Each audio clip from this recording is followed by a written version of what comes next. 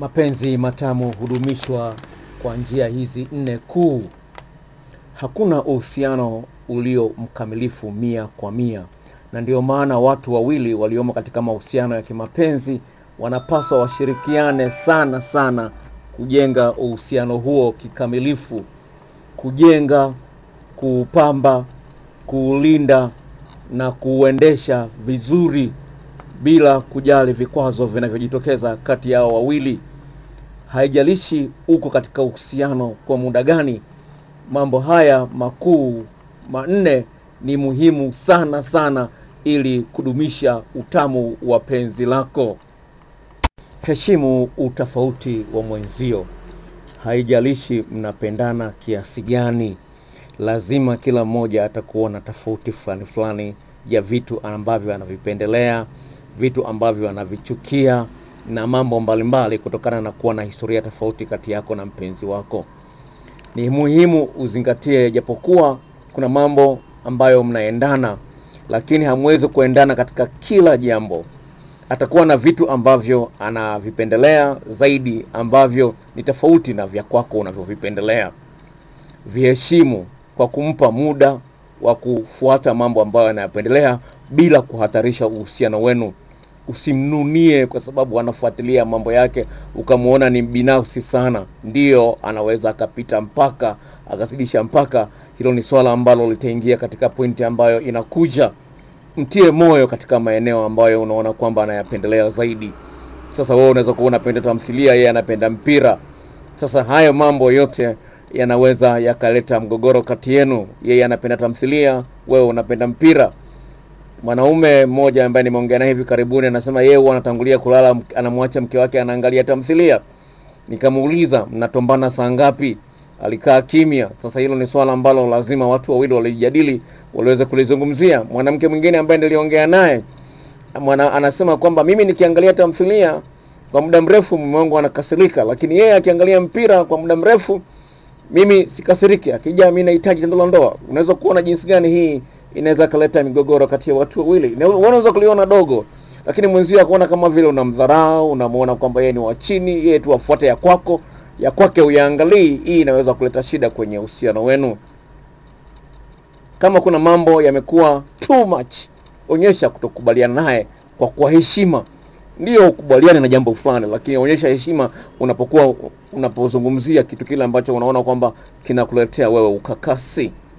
Watu wanabadilika kwa kadri siku zinavyoongezeka katika uhusiano wenu.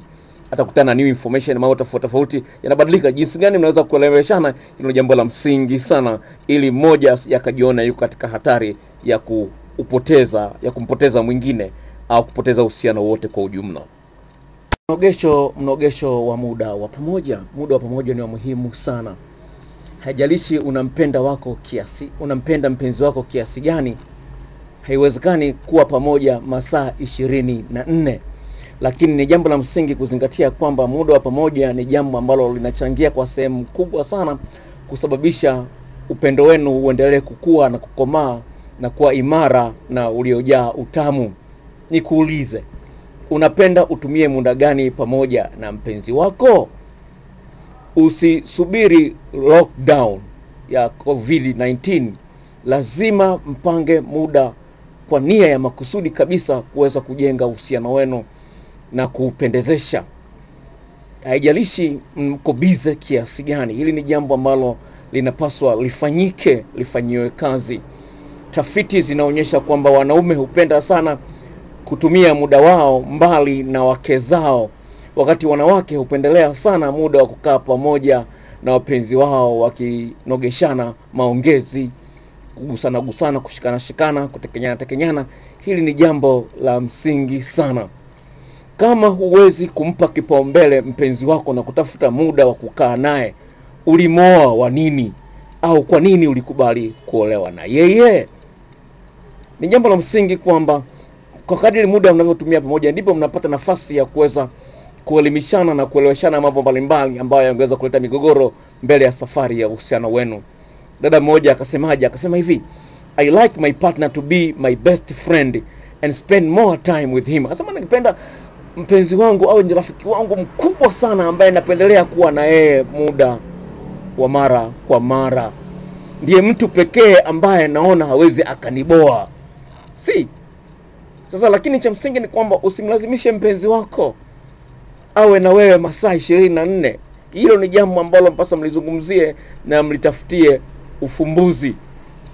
Je, siku ambazo sio za kazi, siku za sikukuu, siku ambazo ziko free, mnazipangia muda gani wa kuzitumia pamoja? Hapo ndipo ambapo utakuwa na uwezo wa kupima jinsi gani mwenzio anakuthamini, jinsi gani mnathamini na kuupenda uhusiano wenu. Hilo ni jambo la msingi sana. Mara nyingine of course, kuna nafasi ya mtu kuwa peke yake akafanya mambo yake peke yake, lakini cha msingi ni kwamba haya yote lazima mmekubaliana. Je, mpenzi wako akipenda muwe pamoja mara kwa mara, amekuudhi? Anakuudhi? Unalionaje hilo? Na je, unalifanyiaje kazi? Mnapofanya kazi tofauti tofauti, mnatumia uh, maeneo tofauti tofauti, mna masaa nane au zaidi ambapo mko mbalimbali, mkirudi mnafanya nini kuziba pengo kati yenu nyinyi wawili? Sasa kuna watu ambao wana matatizo ya kiakili ambao wanapenda tu kukaa peke yao, kama mmoja huyu alisema kwamba I definitely the space needing time person being around people any people tires me out. Sasa mimi nikiwa na mtu karibu mara nyingi nanichosha, najikuta nimechoka. Kwa hiyo kuna watu wenye akili ambazo zina matatizo kidogo, yani anaona kukaa na wewe kwa muda mrefu, anaona kama vile utampiga risasi, anaona kama vile utamuudhi, utamuoa, utamuuliza utamuuliza maswali mbalimbali. Sasa wengine ni wachepukaji, akikaa na wewe muda mrefu anaogopa atapigiwa simu na mchepuko. Unaona, hao watu wenyewe wa kuangalia vile vile. Wapo watu kama hao, anapenda awe huru ili aweze kuongea na michepuko yake. Sasa hiyo lazima uliangalie kwamba ukikosekana kipengele hiki, uhusiano wako uko mahali pabaya. Ni jambo la msingi sana ufahamu kwamba unapoona mpenzi wako anahuzunika, unapomwambia tukae pamoja au twende outing, hilo ni jambo ambalo linapaswa lishughulikiwe, ni tatizo kwenye uhusiano wenu. Tendo la ndoa lenye cheche wala sio chenga, maana yake nini? Tendo la ndoa ni kiungo muhimu sana kati ya watu wawili ambao wanapendana. Umeachana na wazazi wako kwa sababu umekutana na mtu ambaye ni special wa kipekee. Huwezi kufanya mapenzi na mama yako, huwezi kufanya mapenzi na baba yako.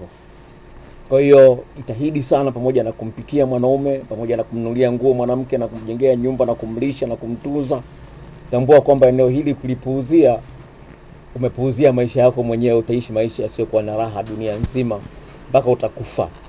Tendo la ndoa ni jambo la msingi sana, ulifanyie kazi vizuri. Kama tendo la ndoa halina cheche, then utakuwa umekosea mtu ambaye umepata sio sahihi. Kama tendo la ndoa kati yako na mpenzi wako na mume wako na mke wako halina cheche, limejaa chenga, basi tambua kwamba umekosea mpenzi uliye naye. Kwa nini nasema hivyo? Chenga ni kitu ambacho hakijakamilika kama chenga za mchele sawa. Natakiwa uwe na kitu kamili. Nazungumzia cheche, ni kwamba ni ule moto moto unaowasha kwenye giza, unamwona mwenzio vizuri, unampendelea mwenzio zaidi ya watu wengine.